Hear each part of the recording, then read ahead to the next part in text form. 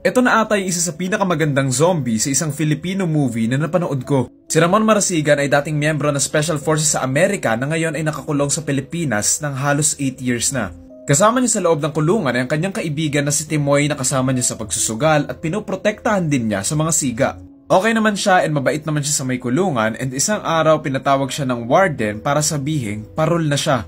Hindi siya yung parol na nakasabit kasi Pasko na. Parol as in pwede na daw siyang makalaya sa sumunod na buwan. Isa sa mga dahilan kaya gusto niyang makalaya ay para makasama yung asawa at anak niyang nagiintay sa kanya sa labas. Pero naudlot yon nung nagkaroon ng outbreak ng zombies sa loob ng kulungan at sa buong Pilipinas. Dahil dito, kailangan niyang makapaglaban sa mga zombies pati na rin yung kanyang pamilya para makapagsama at makapagkita sila ulit.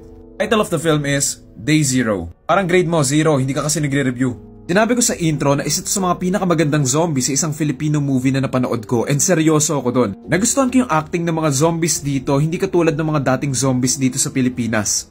For me, sobrang obvious lang ng pag-act nila and minsan parang dancer lang kung gumalaw. Kasi hindi naman yan dancer eh, zombies yan so dapat mag-ala zombie sila gumalaw. Minsan pa masyadong matalino for the undead or may nakita pa nga ako dati tumatumbling. Bakit tatumbling yung mga zombies? Eh gusto lang naman yan kumain. Nagustuhan ko rin yung set nila sa may kulungan na medyo realistic and unrealistic at the same time. Kasi sa totoong buhay, yung mga kulungan sa Pilipinas ay mga dugyot, makalat, crowded at hindi na mamanage ng maayos ng gobyerno. Kita nyo naman kung gaano kasiksikan dyan. Kung dyan nagka-zombie, automatic lahat sila zombie na agad. Saan ka pa ba tatakbo dito? Dun sa may poste ng ilaw o dito na lang sa may ring mag-ala Michael Jordan ka?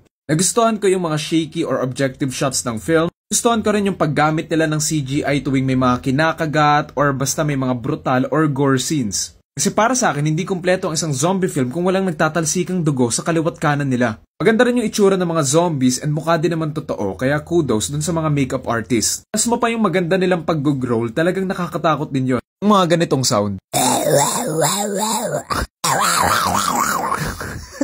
Ging Daffy Duck. Favorite scene ko yung nagtatago si MJ Lastimosa dun sa dalawang zombies and yung nag-ala John Wick si Brandon Vera. Nagustuhan ko yung mga fight scenes at nagamit naman nila yung experience ni Brandon Vera sa may UFC. Feeling ko maganda to gawing mini-series na mala Walking Dead style pero ayun, masyadong malaking budget dito so alanganin naman yung mga personal opinion ko na hindi ko mga nagustuhan sa movie. May mga sound effects akong hindi masyado nagustuhan kasi feeling ko it's too much or too loud sa kung anong nangyayari. May mga scenes din na parang na-dragged out pero okay na kasi medyo maiksi lang din naman yung runtime. Lastly sa acting, 6 out of 10. Action suspense comedy to from Reality MM Studios. Ang direktor ng pelikulang ito ay si Direk Joey De Guzman. Day Zero, torta rating ko 5.5 out of 10.